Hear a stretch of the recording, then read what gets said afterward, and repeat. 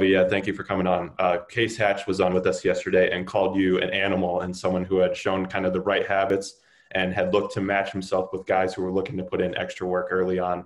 What's been kind of your mindset and workouts since you've gotten here, and how do you feel like you're performing so far?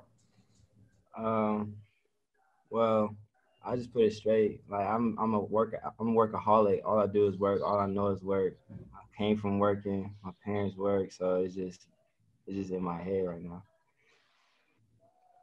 All right, Jacob. LV, what's what's your impression so far overall of the wide receiver group? Because yesterday we we spoke with Ricky Pearsall and he said over and over that you guys are slept on and you guys kind of feel slept on. Do you feel that way? And if so, why do you feel that way? Yeah, I feel like we're getting slept on because like Frank is a dog, Ricky's a dog, GP's a dog, and I feel like they're getting overlooked. And they're just thinking like, oh, they're a young team, they're gonna come up soon, but they don't realize that we're gonna come up right now. That's how I feel. Trevor? Uh, LV, one thing that was consistently mentioned um, about you by evaluators and in your recruitment was just how polished and refined your route running is. Um, how did you kind of hone in on that skill throughout your career, and how do you feel like your skill set meshes in with Coach Hill's system here at ASU?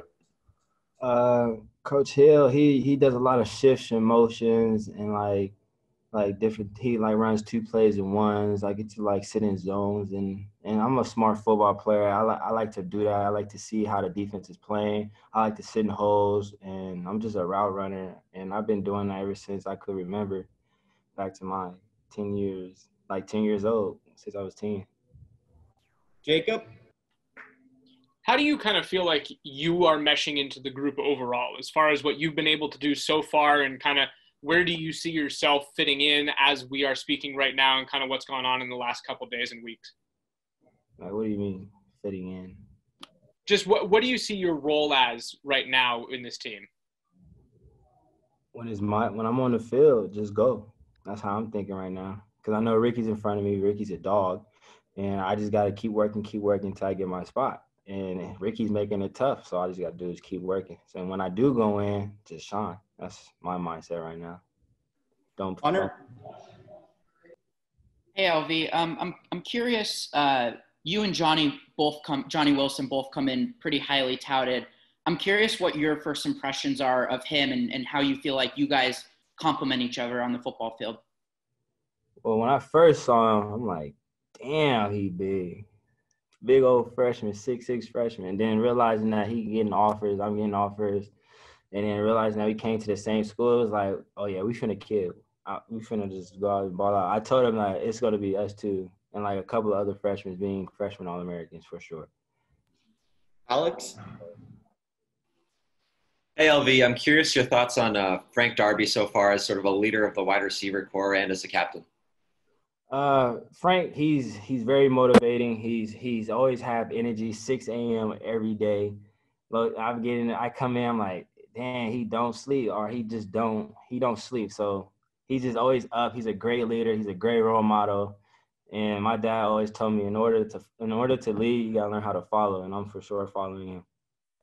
All right, two more questions. Trevor. Uh, LV, you played with Jayden at Ground Zero, and we read that you guys have worked out in California just before you got back here to ASU. Uh, what has stood out through the years that you've known him, and where have you seen him develop the most to this point? I, I would say like his arm got a whole lot bigger. Like his whole freshman year, like it, I've never seen him throw that far, or threw that far. It's just seeing how much how stronger his arm has gotten is it, it, it's amazing. Last question, Jacob. Can you just speak to what it's been like for you to be able to work with Prentice Gill so far and kind of how that relationship has gone? Uh, Gill's been recruiting me ever since I can say like ninth grade year when he was like I think at SC, and then when he went to Oregon, and then when he went to here. So he's he's always been in my phone. always been in his phone. So it's like we we know each other for like going on five years right now, and and like just like like learning from him is just is it's helpful